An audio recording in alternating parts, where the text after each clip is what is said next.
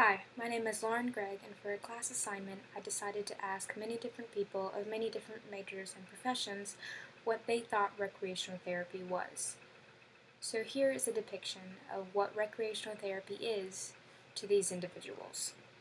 Um, I'm not quite sure what recreational therapy is, but I think it may be related to something like occupational therapy, but I'm not quite sure how they're related, if they are.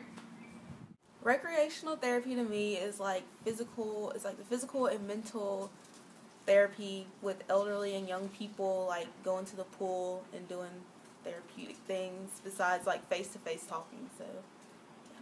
So, rec therapy is they work in the community and they provide all kinds of activities and crafts and things for community centers, the elderly, any kind of people who need some kind of, of therapy and it's a way to get your um, your thoughts out and a therapeutic way to like connect with the community.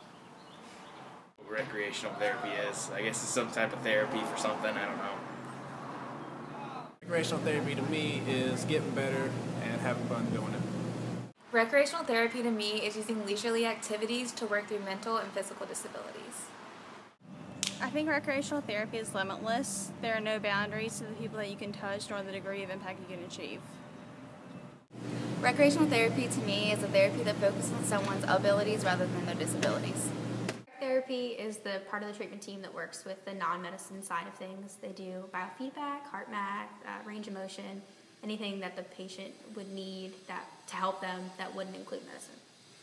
Recreation therapy to me is bringing about change to be as independent as possible through a variety of activities, some familiar and unfamiliar activities in the field of recreation.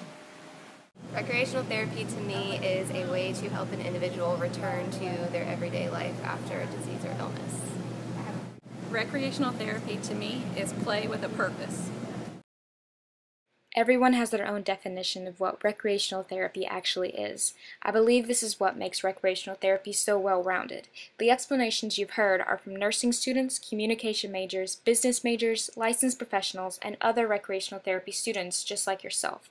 There are so many different definitions of what we can offer as aspiring recreational therapists. So take the time to answer the question. What is recreational therapy? To you.